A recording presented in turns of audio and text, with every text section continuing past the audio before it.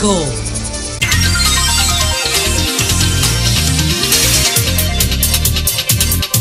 Bien, señores, continuamos, continuamos con el sol de la mañana. Son las 10, son las 10, 5 minutos. Con nosotros está el licenciado Fran del Valle, presidente de la Comisión Presidencial de Apoyo al Desarrollo Provincial y está acompañado de dos funcionarios de esta Comisión Presidencial de Apoyo al, al Desarrollo, al desarrollo provincial. Entonces, eh, ¿cuál ha sido, cuál ha sido la, la labor eh, principal de esta comisión en esta gestión del presidente Danilo Medina?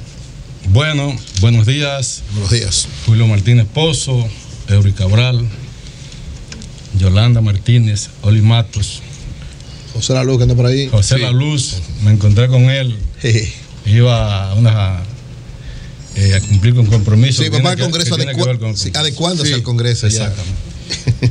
bueno, eh, ante todo, yo quiero darle las gracias por permitirnos entregarles en el día de hoy, en la mañana de hoy, un ejemplar a cada uno de ustedes de las memorias que contienen las obras que la Comisión Presidencial de Apoyo al Desarrollo Provincial ha construido durante este periodo de gobierno que concluye el próximo día 16. Sí, pero aquí, aquí hay mucha obra.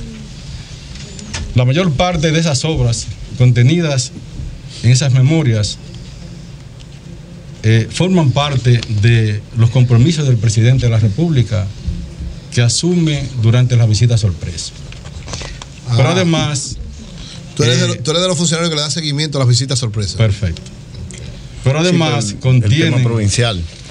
eh, el remozamiento, las reparaciones y las construcciones de los destacamentos de la Policía Nacional, cuyas intervenciones fue producto de la visión del presidente de la República de que no podía a- eh, prestar servicios oficiales y al Estado de esa prestigiosa institución en, los, en las destartaladas estructuras de los destacamentos policiales que teníamos En las provincias. La en las provincia. provincias. O sea, la comisión se ha encargado de arreglar la mayor parte de los destacamentos. ¿Cuántos estaban- destacamentos, ¿Cuántos? por ejemplo, En la actualidad, y ahí están contenidos, total 105 destacamentos. que se han hecho nuevos Nuevos. Que se han, o se han reparado? se han reparado, se han remozado y se han hecho nuevos. Es decir, que incluyen municipios, por ejemplo, hay en provincias que se han hecho va- eh, varios reparaciones Cuarteles. y construcciones. Claro. Por el número Se pega el de. micrófono, por favor. Bien. Bueno, no dice- especialmente municipios, sino provincias. Provincias. Porque, por ejemplo, tomando en consideración de que Bauruco, según el índice de calidad de vida publicado por el Ministerio de Economía, Planificación y Desarrollo antes del año 2012, eh, Bauruco estaba dentro de las cuatro provincias más pobres del país. Y por ende, entonces, así sus estructuras. ¿Cuáles iniciativas han Entonces, tomado allá ahí, en Bauruco? ahí en esa provincia nosotros ya hemos construido seis destacamentos en cada uno de sus municipios y tenemos uno en proceso de ejecución. Dice aquí que en los cuatro años son 265 proyectos y una inversión de alrededor de 3.355 millones de pesos. ¿Es así? Así es. Entonces, Entonces, eh, esa es una inversión real.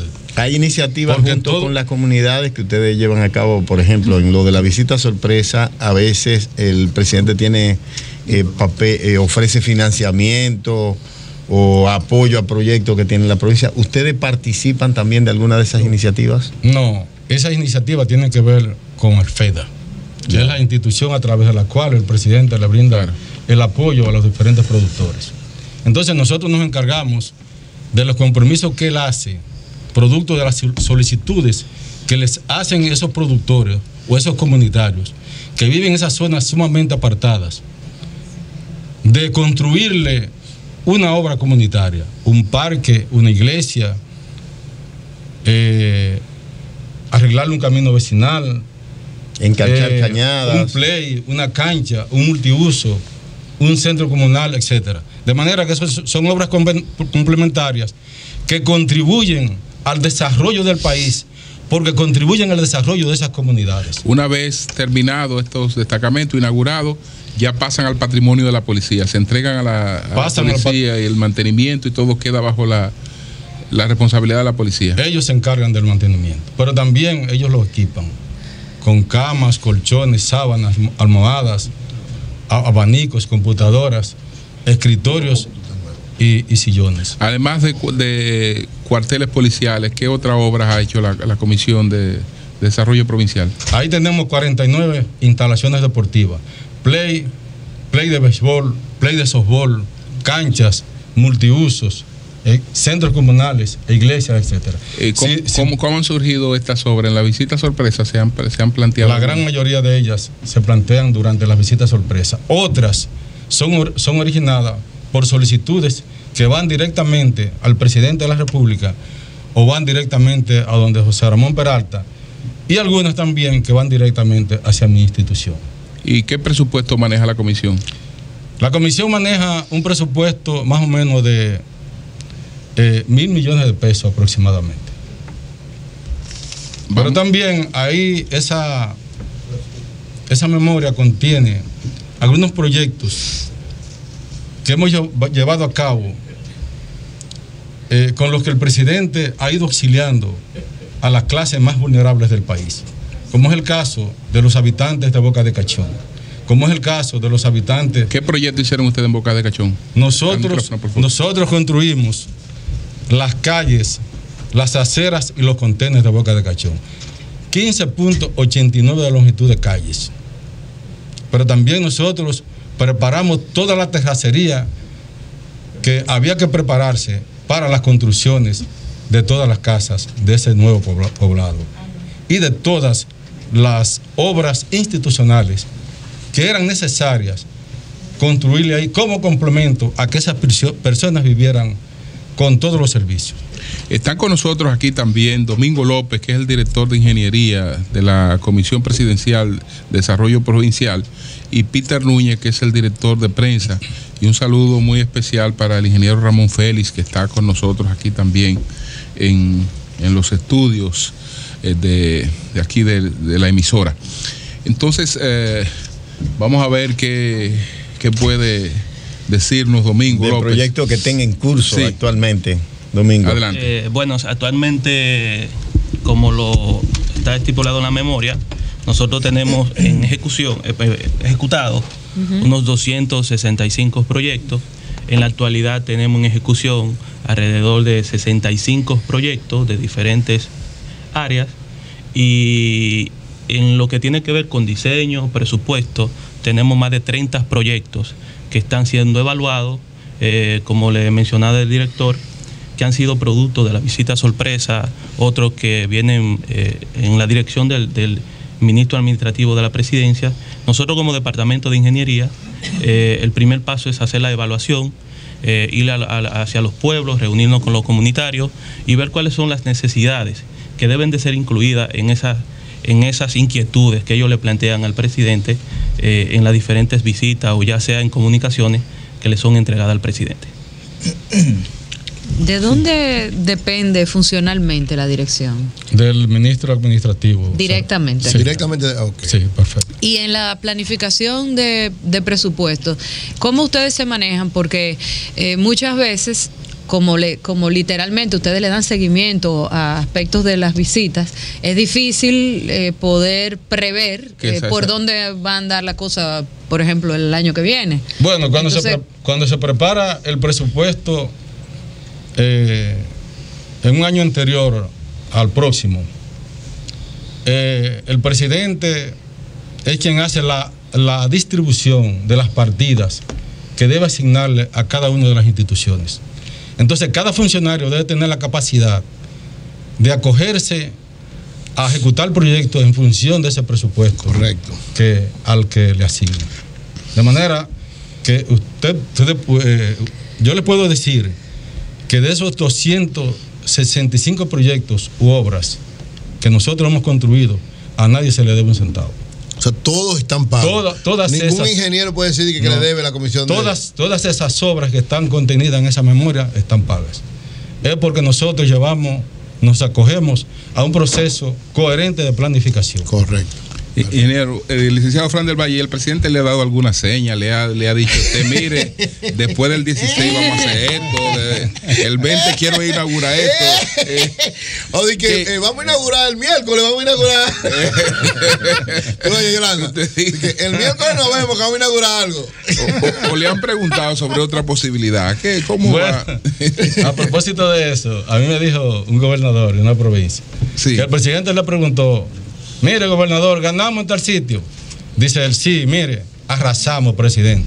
Usted sacó un tanto por ciento. El sena- senador sacó un tanto por ciento. Y le dice el presidente, ah, ok, ah, bueno, te voy a apoyar grandemente. Entonces él dice, bueno, si me dijo así, fue que me, me ratificó. Eh, sí, que se queda como Entonces me gobernador. quedo. Eso está bien. Bueno, pero en cuanto a mí se Eh. refiere, no, no hay señal. No hay señal. No. Tú estás dispuesto a lo que sea, ¿verdad? Claro, porque nosotros somos soldados. Ahora, eh, uno lo que tiene que hacer es hacer el trabajo acorde con lo, con lo que es el estilo del presidente de la República. Oye, de manera coherente, racional, optimizando y priorizando el uso de los recursos del, del- del Estado.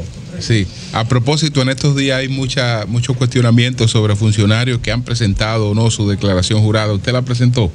No, yo no, yo no he presentado todavía. Porque hay que esperar. de- no, la declaración La- jurada. la de cuando Ah, la se juraron. ¿De Ah, cuándo ya. se juramentó? Sí. Ah, ya. ¿Eh? Ah, no, no, yo la presenté, claro. O sea, tú tienes. Yo la presenté eh, tres meses antes, antes de cumplirse los tres meses de haber sido nombrado. Ok, ok. En el plazo. Usted En la el O sea, plazo. dentro del plazo plazo establecido. Claro, Pero la de la nueva gestión no la ha presentado porque todavía no, ni tampoco la de cuando se va, porque cuando salga debe presentarla de nuevo. Claro, claro. Bueno, pues muchas Aquí, hay- gracias. aquí en este programa se ha hecho una promoción para que el presidente y la empresa, yo creo que todos coincidimos con eso, incluyendo yo que soy el opositor, en que el presidente no debe nombrar a nadie que no tenga su declaración. Claro, de no, exacto. Que no la haga. Bueno. No, y debe hacerla de una vez. Si, si por casualidad, bueno, yo te voy a nombrar, pero a la semana tiene una solicitud, no, es para afuera que va. Perfecto. Porque eso Bueno. es la ley. Claro. Gracias a Fran del Valle, Bueno, Fran, que presidente de la Comisión. Presidencial de Apoyo al Y el miércoles nos vemos en la inauguración que tú vas con el Provincial. presidente. Ah, bueno. Pero el miércoles, ¿cómo estamos el miércoles? A 17. José, José Ramón estaba recogiendo. Eh, quiero aprovechar eh, Peter. para, para eh, informarle a los moradores de Nagua, la gente de Payita. María hoy- Trinidad Sánchez. María Trinidad Sánchez. Hoy Hoy nosotros seguimos con las inauguraciones. Ok. Nosotros estuvimos inaugurando y entregando ayer tarde el Club de Leones del municipio de Consuelo, San Pedro de Macorís. Hoy estaremos entregando a la gente de Payita, en Agua, eh, un moderno estadio de béisbol. Ok. Luego de ahí nos vamos a trasladar a San Rafael, también a la misma provincia, y junto al jefe de la policía vamos a hacer entrega de un destacamento de la Policía Nacional en esa comunidad.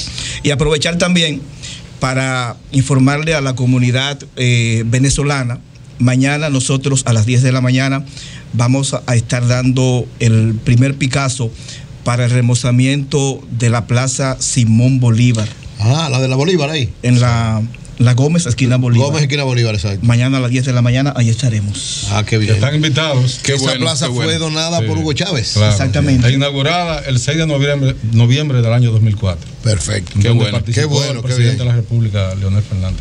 Bueno, pues muchas gracias a Fran del Valle y aparte de su equipo. Cambio y fuera. Bien. Muy bien.